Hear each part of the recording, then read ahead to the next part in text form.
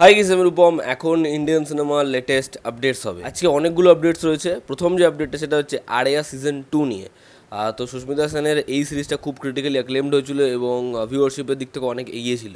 এবং এই সিরিজের জন্য বেস্ট অ্যাক্ট্রেস অ্যাওয়ার্ডও সে পেয়েছে।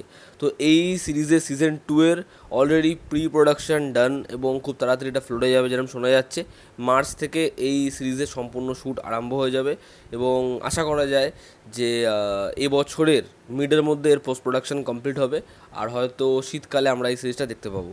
তো এটা একটা ভালো খবর যে একটা ভালো সিরিজ আসছে খুব শীঘ্রই। দ্বিতীয় যে আপডেটটা সেটা হচ্ছে আখে টু বিপুল অমৃতলাল শাহের খুব অ্যাক্লেমড হেইস্ট ছবি, যেটা হচ্ছে আঁখে মুখ্য চরিত্র অভিনয় করেছিল অমিতাভ বচ্চন, অক্ষয় কুমার, অর্জুন রামপাল পরেশ রাওয়াল। তো সেই ছবিটার সিকুয়াল আসছে। আগে শোনা গেছিল এই ছবিটায় জন থাকবে এবং ছবিটা ডিরেক্ট করবে আনিস বাজমি, কিন্তু তারপরে ছবিটা আর কখনো ফ্লোরে যায় না। এবার বলে রাখি যে এই ছবিটা নতুন কাস্টিংয়ের সাথে শুরু হচ্ছে এবং নতুন পরিচালকের সাথে। একটা দারুণ কাস্ট অমিতাভ বচ্চন, অক্ষয় খান্না, সিদ্ধার্থ মালহোত্রা, সুনীল গ্রোভার। এবং ছবিটা পরিচালনা করছে অভিনয় দেও, যে এর আগে দেলিবেলির মধ্যে ছবি বানিয়েছে এবং এই ছবির মধ্যে কমেডিরও কিছু পোর্শন রয়েছে এবং এটা আবারও একটা হেস্ট মুভি দেখা যাক কেমন হয় এই ছবিটা। এই ছবিটা শ্যুট স্টার্ট হচ্ছে মে থেকে। সব ঠিক থাকলে এবছরের শেষের দিকে চলে আসবে আখে টু। দু হাজার একুশে দেবের আপকামিং ছবিগুলোর মধ্যে দুটো ছবি পড়েছে ক্ল্যাশের মুখে। যার মধ্যে প্রথম ছবিটা হচ্ছে টনিক টনিকের রিলিজ ডেট বুকময় আপডেট করা হয়েছে। সেটা হচ্ছে ফোর্থ জুন এবং আমি বলে রাখি হিন্দির বড় রিলিজ হচ্ছে এইটটি থ্রি এবং এই ছবিটা এই থ্রিডিতে আসছে এবং ছবিটা শুধুমাত্র আমার হিন্দির ছবি না, এটা প্যান ইন্ডিয়া রিলিজ হচ্ছে। রণবীর সিংয়ের এইটটি থ্রি তো এইটটি থ্রি ভার্সেস আমরা টনিক ছবিটা দেখতে পাবো। আমার মনে হয় না রিলিজ ডেট খুব একটা পোস্টপোন করা হবে। দেখা যাক কোনটা হয় আর কি। তো এইটটি থ্রি ভার্সেস টনিক আমরা দেখতে পাবো ক্ল্যাশ তবে আমার এটুকু মনে হয় যে যদি বাংলা ছবির কন্টেন্ট ভালো হয় অডিয়েন্সকে হলমুখী করতে পারে, তাহলে অবশ্যই যত বড়ই হিন্দি সিনেমা আসুক, লোকে বাংলা ছবি দেখবে। কারণ আমার এখন ওই দিনটা মনে আছে, যখন হচ্ছে হরহর ব্যোমকেশ চলছিল, সেই সময় দিলওয়ালে চলছে, সেই সময় বাজিরাও মস্তানি চলছে। আমি দেখতে গেছিলাম ওই ছবিটা মিত্রাতে। আবির, অরিন্দম শিলোরা এসেছিল। উল্টো দিকে বাজিরাও মস্তানি হাউসফুল আর একটু এগিয়ে কোনোটা হলে চলছিল হচ্ছে দিলওয়ালে সেটাও হাউসফুল। কিন্তু সঙ্গে সঙ্গে হর হর বোমকেশও হাউসফুল ছিল। তো এটাই যে লোকে বাংলা সিনেমা যদি ভালো হয়, অবশ্যই দেখবে। সেকেন্ড দেবের যে রিলিজ সেটা হচ্ছে গোলন্দাজ এবং দু হাজার একুশের সবথেকে বেশি বাজ রাখা বাংলা ছবির মধ্যে অন্যতম হচ্ছে গোলন্দাজ।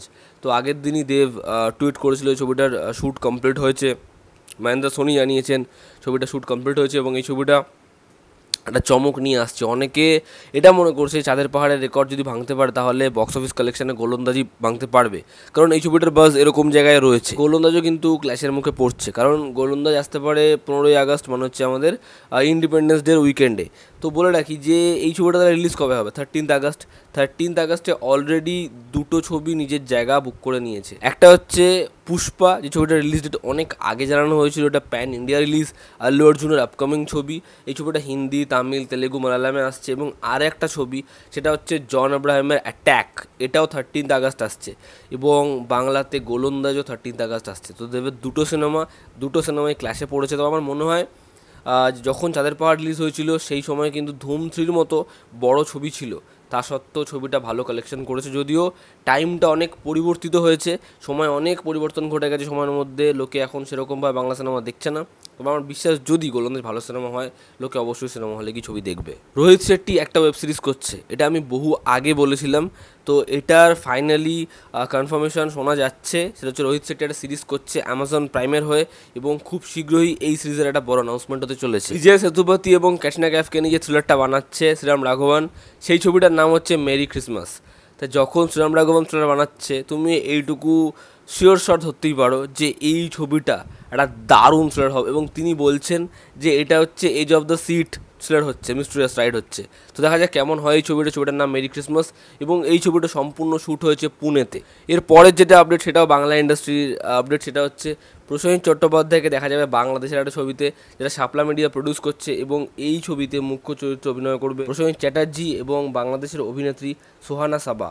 এই ছবিটা খুব শীঘ্রই ফ্লোরে যাবে। ছবির টাইটেল হচ্ছে ব্যাংক ড্রাফট দেখা যাক কেমন হয় এই ছবিটা। বিদ্যুৎ জামওয়াল টিনু সুরেশ দেশাই মানে যে হচ্ছে রুস্তম বানিয়েছিল সেই পরিচালকের সাথে কাজ করতে চলেছে।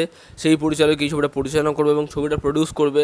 মানে হচ্ছে রুস্তম বানিয়েছিল প্রডিউস করেছিল, নীরাজ পান্ডে সেই এই ছবিটা প্রডিউস করছে। আমি কয়েকদিন আগেই বলছিলাম যে এই ম্যাডক ফিল্মস যারা, তারা একটা ইউনিভার্স বানাচ্ছে ডার্ক কমেডি এরকম মানে ছবিগুলো নিয়ে, যেখানে অন্যতম হচ্ছে স্ত্রী, যেখানে অন্যতম হচ্ছে আপকামিং রুহি এবং তারপর হচ্ছে ভেড়িয়া। তা বলে রাখি, তাদের আরও একটা ছবির প্ল্যান হচ্ছে, যেটা সঞ্জনা সাঙ্গি রয়েছেন, এবং এই ছবিটা হচ্ছে স্ত্রীর প্রিকুয়াল তো দেখা যাক যে স্ত্রী হয়ে ওঠার গল্পটা কীরকমভাবে দেখানো হয় এই ছবিতে। আদিত্য ধর তার পরবর্তী ছবিতে মুখ্য চরিত্রে অভিনয় করাচ্ছেন আমাদের প্রতীক গান্ধীকে এবং ইয়ামি গৌতমকে। প্রতীক গান্ধী মানে হচ্ছে স্ক্যাম নাইনটিন নাইনটি টু এর বান্দা। আমার তাকে দারুণ লাগে। তার একটা ছবি দেখছিলাম, যেটা হচ্ছে মারাঠি ছবি। যেটা না আমার এই মুহূর্তে মনে পড়ছে না। সেই ছবিটাতেও তার অভিনয় কিন্তু দেখবার মতো। আমি খুব শীঘ্রই ছবিটা রিভিউ করব।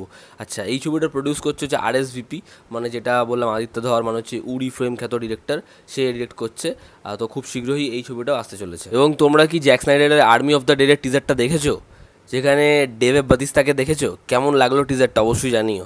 তো এই ছিল আজকের লেটেস্ট আপডেটস ভালো লেগে থাকলে লাইক শেয়ার সাবস্ক্রাইব রেড বাটনটা প্রেস করে অবশ্যই করে দিও।